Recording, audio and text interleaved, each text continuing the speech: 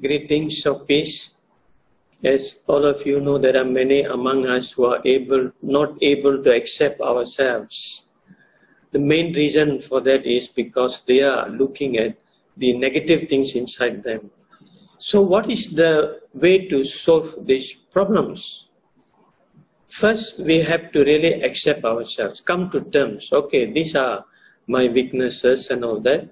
And then we'll try to find a way to solve the problem of getting rid of your weaknesses